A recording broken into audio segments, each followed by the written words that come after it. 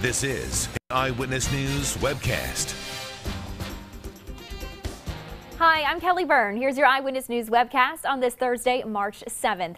Let's get a check of your forecast now with meteorologist Stefano DiPietro. What should we expect today? Well, another cold start, Kelly, another cold afternoon, and we're also watching out for a pop-up snow shower that'll try to develop later on this morning. So here's 10, 11 o'clock, and there's that snow shower that I'm talking about. And even continuing through the remainder of the day, still going to watch for just a few flurries as that cloud cover hangs pretty tough going into this afternoon. All the way into this evening, the clouds will start to thin out just a little bit more as high pressure builds in, but that is going to be a very slow process, and it won't really be until tonight that we start to see some decently good clearing. 28 for the high today in the eyewitness weather forecast. Breezy, cold, clouds, some sun.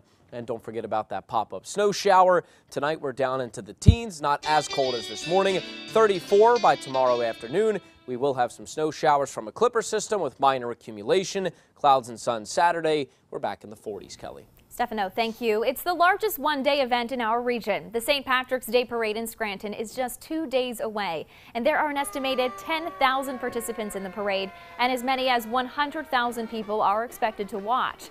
With so many people coming to the city, it means a busy day and night for the Scranton Police Department. On Wednesday, leaders addressed safety and security issues. County leaders have already reached out to bars and restaurants requesting they not open early.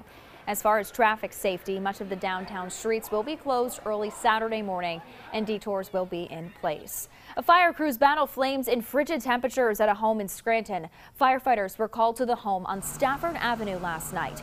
The assistant fire chief says two people living inside were able to escape unharmed. Crews initially tried to battle flames from the inside, but the fire spread quickly and they had to get out.